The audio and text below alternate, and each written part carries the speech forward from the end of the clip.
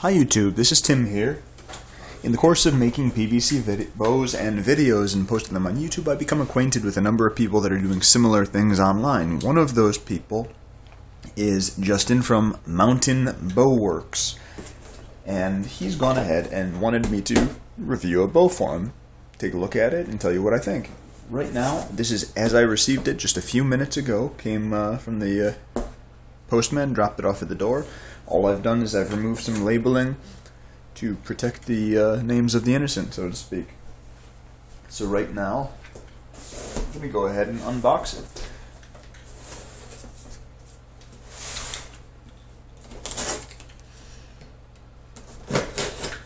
feel the need to recommend that people be very, very careful with these things. Back when I used to work in a uh, retail shop, managed to slice myself up pretty good because I was careless. If they're sharp, you might not even know you're bleeding until you see the stain.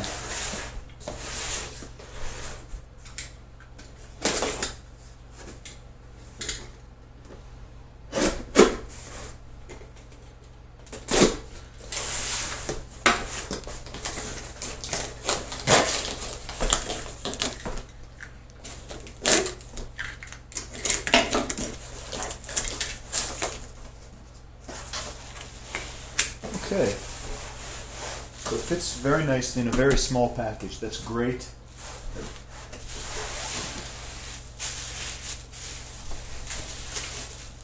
And the packaging is very nice.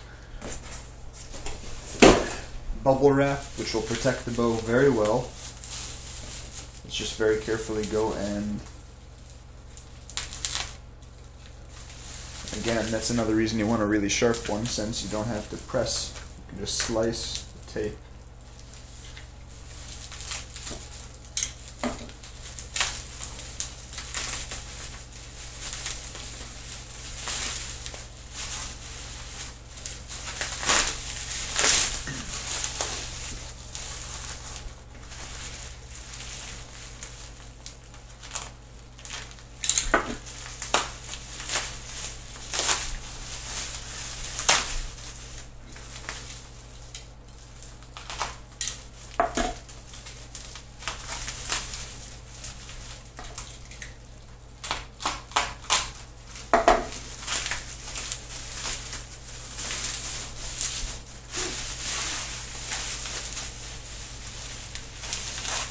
There we go. I think I recognize that shape. So it's in a bow sock. Fits very nicely, by the way. The bow sock's just the right size for it. Go ahead and put away the razor, since I don't think we'll need that anymore. Alright. Oh, man, look at that.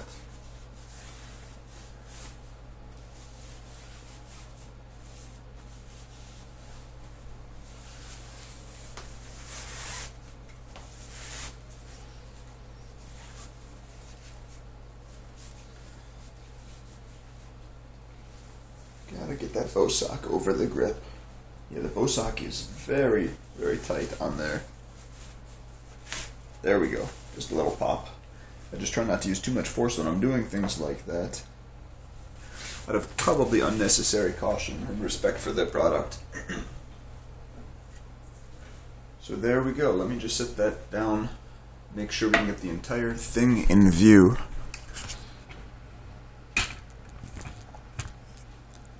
That is lovely. You can probably tell this is where I do most of my uh, my YouTube videos and working and shaping right here on this kitchen cart. So this is one of the ones that he's styled, I believe, like a Turkish Turkish bow. Right here you have the wood siyahs, which he's inserted into the into the PVC pipe. Wrapped the tip, wrapped below the uh, the nock, painted around the nock. Yeah, very elegant, very elegant. Put some, I believe horsehair he said it was, attached to the tip of one of the ends. I think he said his sister had helped him decorate. Sister, perhaps wife, I forget. Had helped him decorate. This is just beautiful. Yeah, very lovely. Along with the decoration on the side of the bow, imitating the decoration that would be done on the side strip of leather. The front looks like a faux wood finish with the design. Let's make sure we can see that. Yeah, look, it looks shows up good in the camera. The handle is wrapped and looks like it has some sort of finish to it. It's fibrous, but it looks like it's been glued down or it's held together. So it's 42 inches long, and that looks like it says 45 pounds, although the, the end of the 4 looks like it might have rubbed off, so it could also be 15 pounds, but I think it's 45 pounds. And I can't quite make out what's here on the bottom. Uh, oh, at, at 24 inches. Got it. 45 pounds at 24 inches.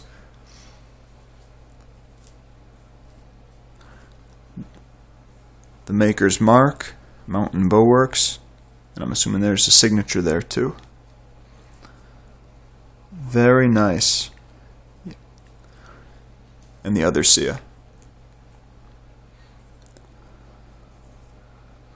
So it looks like it's made out of well, there you go, some nice light wood. It definitely feels a little less dense than the oak that I've used before, which should be good.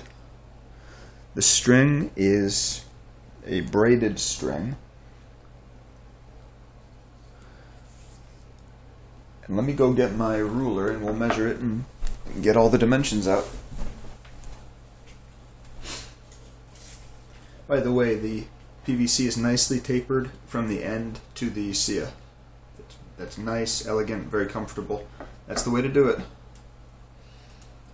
Three and a half inches exposed at the uh, bottom, three inches exposed from the top.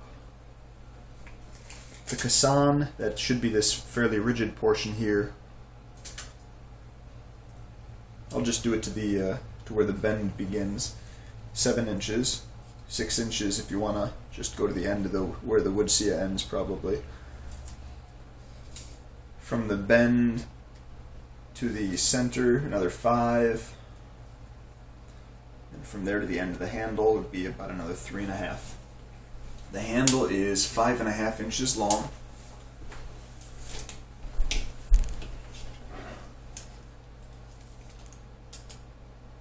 and just over an inch wide at the very, very center. There are two arrow passes here on the left and right. Look like they've been cut out of a uh, rawhide or leather. Very nice. And also decorated too, by the way. That's a nice touch. Okay, so I see that the string had been attached with a rubber band. That's always a good, good way to do it. Another way that I had learned to do it was to wrap the rubber band around through the loop and then attach it to the, the string, or the, to the nock. But that doesn't work as well with these sort of bows, which are already in a semi-strung position. Unfortunately, because with a normal C-shaped bow, it holds it tight, and that's just perfect. But anyway, this is nice. It's good that it retains it. And I don't think I mentioned, although there was faux wood on the back, on the, on the belly, there's faux horn. So Looks like black shoe polish applied after it's been sanded. And it looks very nice. See up here, this would be the section where a, a rear piece of leather would be applied. Yeah, lovely, lovely Turkish style bow. Let me go ahead and string that up now. let's come over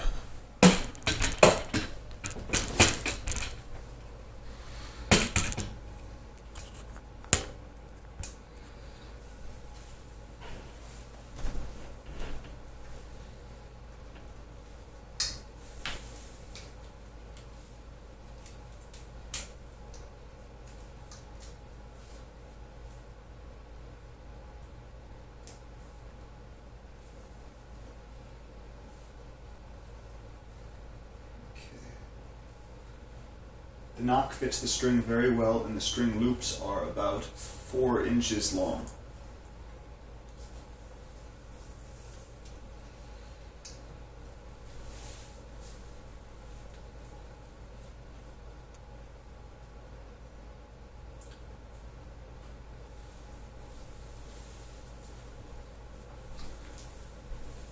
So there it is. Here's the finished bow.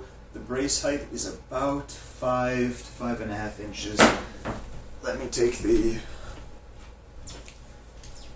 tool and find out for sure. Yep, five and a half inches. Let's make sure you can see. All right. There we go. So 24 inches. That should be almost to my nose. When I draw to the side of my mouth, it's 26. When I draw to the back of my jaw, I draw 28. So from there to there should be the tip of my nose.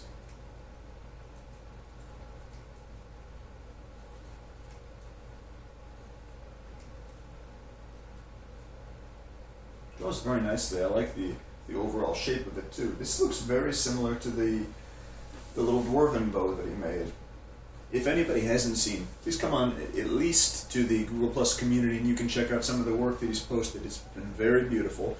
In the show notes down below, you'll also see links to his Facebook page and any other associated page, like his Etsy page. So check it out. It's well worth seeing. If this is the, the sort of stuff that he's turning out, I think you'll be very pleased if you uh, you ever decide to, to get a bow for yourself. Very nice.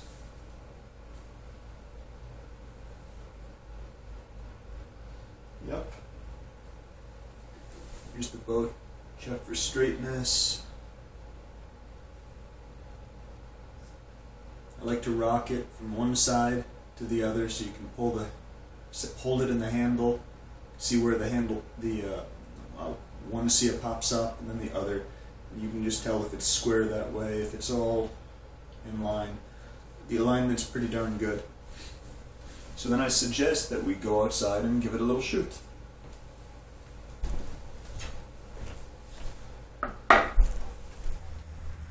Here we are again. I have the Jacob Mountain Bow Works Ottoman Turkish styled bow here in my tillering tree with a pulley. So I'm going to go ahead now and using the scale, just check it at various lengths and remember it was braced at about five and a half inches sure to set up square.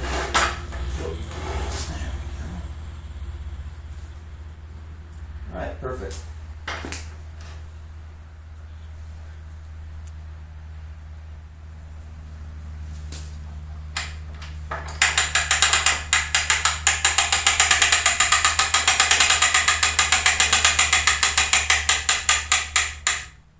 At 20 inches, it's drawing 26 pounds. At 22 inches, it's drawing 29.3 pounds. And at 24 inches, it's drawing 32 pounds, is what I'm reading. And let me drop it back down, and we'll catch the ratings on the other side. Returning to 22, it's about 26. Turning at 20, it's about 22.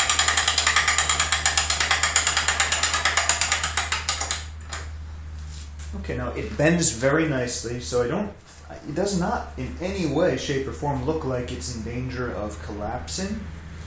He said it was 42 inches long, which is shorter than I usually make them, but very authentic for a Turkish style flight bow. So a short draw would be normal. Let me see. Let's see. Let's draw it again once more and see how the weight changes.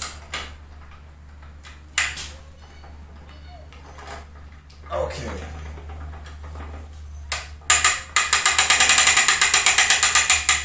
To 20, we have 25. 22, we have 28. 24, we have 31.6 pounds. I'm tempted to go a little bit farther, but because this is where the uh, state of the bow should be drawn to, I won't This wasn't meant to be a torture test. Well, for what it's worth, hitting 20 again is 22 pounds on the return. I always like to record those things. You, it gives you an idea of how the bow fatigues as you draw it and as you hold it. So there we go. The next step is to take it out and shoot it. It seems to me a little bit lighter than it was intended to be, because I think it said it was 45 pounds. it was supposed to be about 45 pounds, and it seems like it draws up more like 35 pounds at a, at a full draw. But that's okay. By the way, the string is very nice. I've never used a Flemish twist string before. All the ones that I do are the endless loops, and it, it feels weird in the hand because I'm expecting to have the serving, the central serving on the string, but it's not there. But it's very nice. So let's go out back and uh, give it a shoot. Here we are at back with the Jacob Mountain Bow Works Turkish horse bow.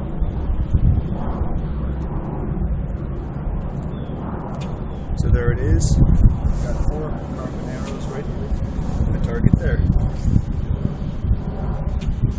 So shoot test. I will be shooting it on the left hand side with a three finger draw.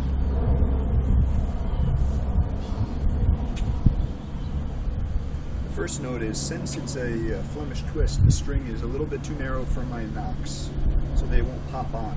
I'm gonna have to hold them, hold them on myself, which is okay, but I'm not used to that.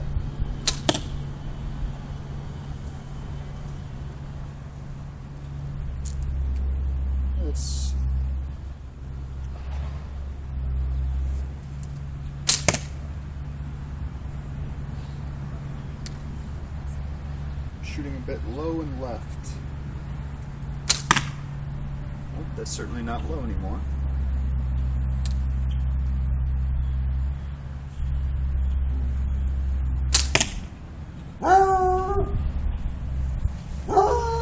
Pretty nice. It actually is pretty snappy. I'm not used to the string at all. It's See, the arrows are shooting left, which means they're probably too stiff for it, which makes sense. The carbon arrows are suitable for about a 45 to a 60 pound bow. They shoot really well in that range. This bow is a little bit lighter than that, especially with a shorter draw. So it's not going to, uh, to shoot quite uh, spot on with those arrows. Get some properly spined arrows at about say 30, 35 pounds, maybe 40 pounds, and I think it would work beautifully. Right now, it's uh, it's fun, it's nice. Like I say, the string is a big departure from what I'm used to, so that'll be interesting to get used to a, a different type of string. I've never done a Flemish twist myself, and uh, I think it's a very nice bow. The paint job is just gorgeous. It's really nice. I like the way the siyahs were uh, were inserted. Looks like the, uh, the front was heated and it was inserted that way, keeping the back nice and flat. That's a very good technique. And I especially like that. The back end was tapered, the front was left whole. I think that looks just smashing. So, there is the Jacob Mountain Bowworks Ottoman Turkish style uh. Hope you enjoyed that, and I hope you give him a look. Go take a look at his stuff. Follow him on Facebook if you can. I mean, he's doing some very cool stuff, and it is fun to see. He's one of those guys that does some uh, very impressive things that I'm, I'm really pleased to have in our little PVC archery community. So, Jacob, thanks for sending this out so we could take a look at it, and I hope everybody enjoyed the review. By the way, just a side note. I just drew it a tiny bit more than was recommended to my uh, the side of my mouth. That would be a 26 inch draw and the arrows fly a lot straighter. The, that's now getting within the range of their spine. So, hope that helps with anybody if they're looking at the bow, the arrows, considering anything like this. Have a wonderful day. Thank you.